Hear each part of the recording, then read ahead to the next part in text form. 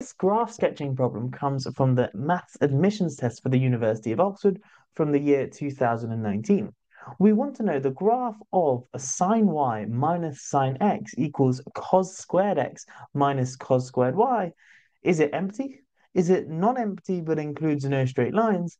Or does it include precisely one straight line, two straight line, or infinitely many straight lines? This is actually not too difficult, uh, provided you know the tricks.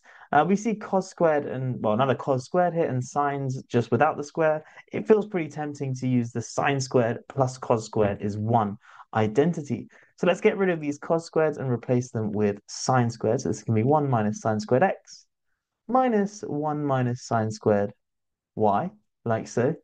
Cancelling the ones and uh, writing uh, this as sine squared y minus sine squared x on the right-hand side. Okay, we can apply the difference of two squares. So we have sine y minus sine x equals sine y minus sine x times the sine y plus sine x, like so. And then we can cancel sine y minus sine x on both sides. No, no, we cannot. We cannot do that because, well, this could be zero. Sine y could equal sine x, so we definitely can't cancel it because what if it's zero? Okay, what do we do instead? Well, we just bring everything onto one side. So we get sine y minus sine x minus this whole guy here. So minus uh, sine of y minus sine of x. I'll be a little bit lazy here.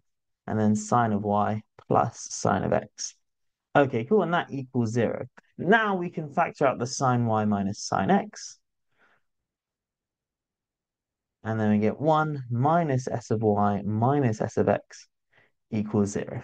And now we just need to work out whether this graph has any straight lines, and if it does, how many does it have?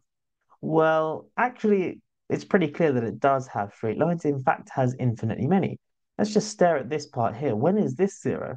Well, this is clearly zero if y equals x, but it's also pretty clearly going to be zero if y equals x plus 360 degrees, because sine is periodic with period 360 degrees.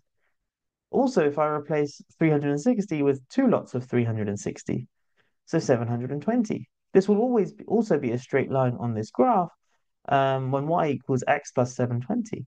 That will also make this bracket here zero and therefore be a straight line which would be on this graph.